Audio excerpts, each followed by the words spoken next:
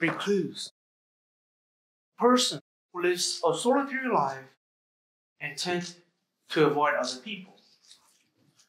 Now, if I was to ask you to close your eyes and think of a recluse, someone who intentionally avoid others, what would you come up with? Maybe a middle-aged man living off the grid in the middle of the forest.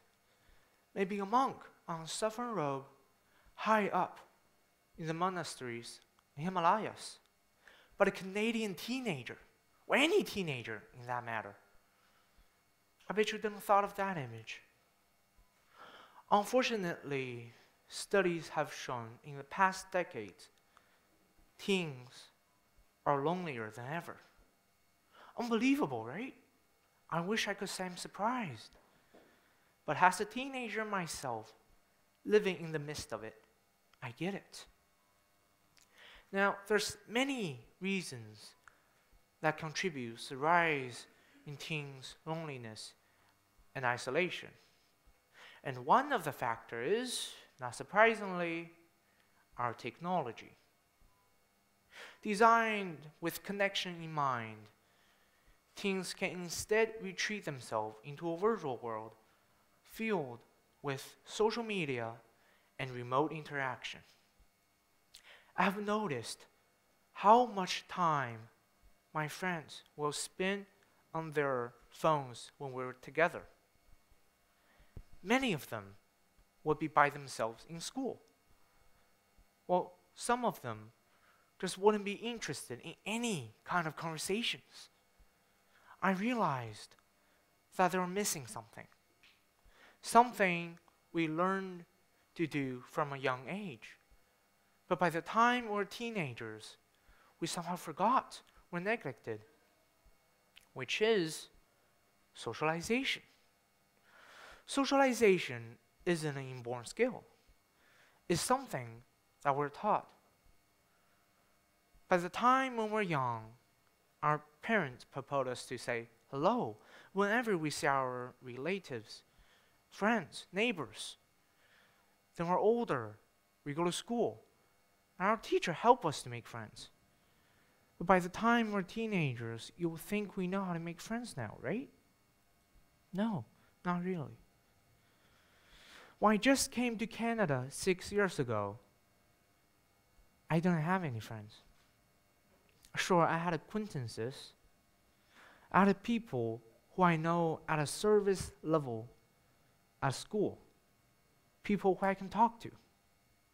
But I never socialized outside of school. Now, looking back, I was pretty lonely. Until one day, I went to English class after school. And there, I met a friend who changed my life. Even though we didn't contact for a few years, one day she asked in WeChat group, who want to go to a movie? I couldn't remember what movie it is, but it must have been a really good one.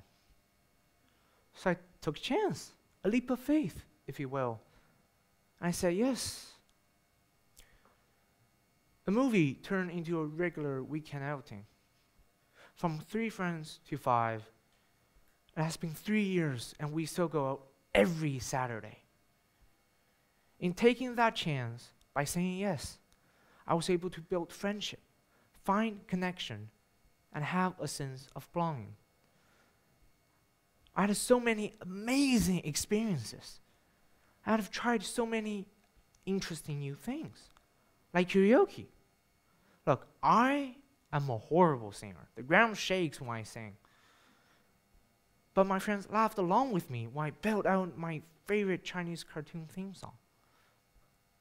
They also taught me how to play mahjong and hit the arcade and the go-kart track.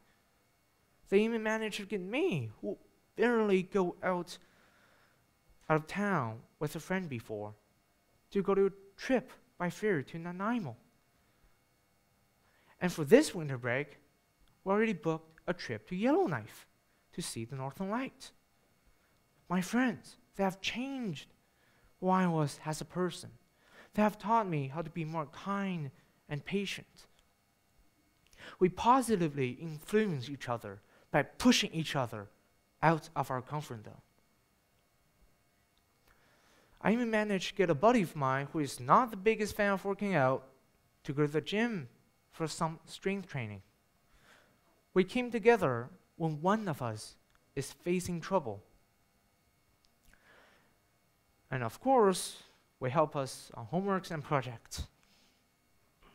And these experiences is why I've been thinking about the real benefits of making friends, the real benefits of socialization.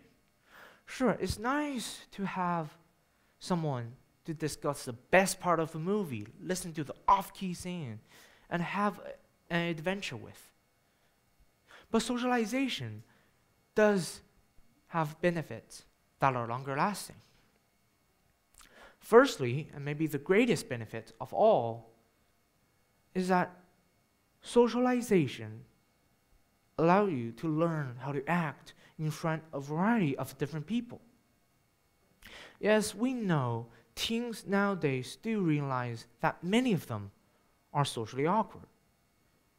And by isolating ourselves, we're really going to struggle when we interact with people in the real world.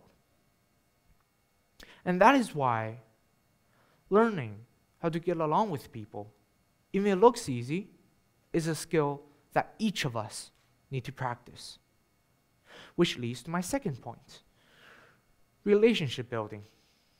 The more people we connect with, the more we can gain and the more we can give.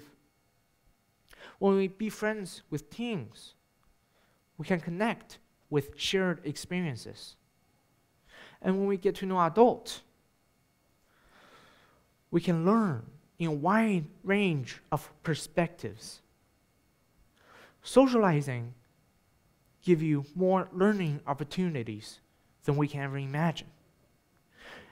And then perhaps the most important benefits is that socialization supports our health. It has been proven that supportive relationships from family, schools, and peers can contribute our emotional well-being and our higher self-esteem. While other studies have shown that socially active teens are healthier than their more isolated peers in key areas like weight, blood pressure, stress hormone levels. Teens nowadays are facing a whole lot of trouble from bullying, body image issues, academic and career challenges, relationship worries, stress, anxieties, and a lot more. And in all these cases, having someone who could understand you, someone who you can talk to, someone who could be your ally, may even save you from these troubling conditions later on. So, at the end of the day, socialization isn't just about going to a movie or having fun. It's about learning how to get along with a variety of different people. It's about learning invaluable life skills that will benefit you for life. It's about avoiding loneliness and isolation that will lead to more problems later on. And that is why we encourage all teenagers to socialize. So the next time your friend asks you, do, do you want to go to a movie? When you can be chilling in your pajamas or playing video games. Say yes. Go for it. Go see that movie. Learn mahjong. Sing at the KTV confidently. Put yourself out there because you'll never know if you're like me and find the best group of friends that anyone could ever ask for. Thank you.